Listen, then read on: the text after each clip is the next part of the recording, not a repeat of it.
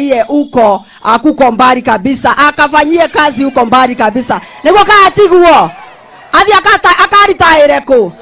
Ate PO box adis PO box.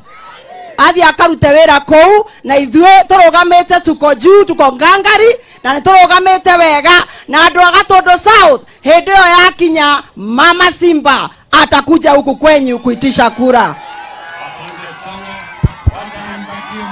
Thank you. Munyoine mjambo. Ata munyoine murega ngai nä mwega.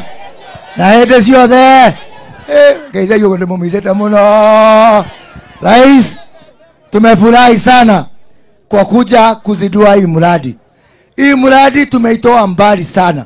Katika hii msitu hapa juu tumefanya mikutano mingi. Mimi nikuwa mbunge ya hawa watu. Mwishowe imekuwa adua a ni mwakena nä mwakena nä kå rehero maä ma kå rä ma o rä a ndamwä rire sasa kazi ni kwenu.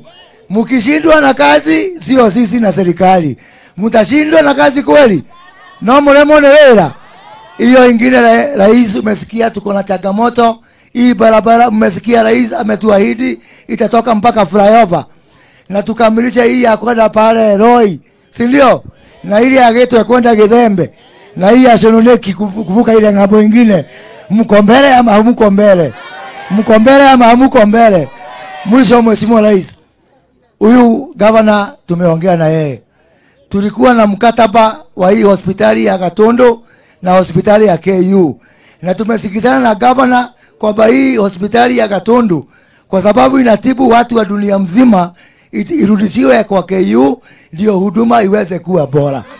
Na wiki mbili iliyopita tulikuwa pale na waziri wetu wa afya Susan Nakumicha, na hatuna marubano, gavana, waziri, mimi, Kagombe na Njenje ambaye ni chairman, tumalize hiyo kazi.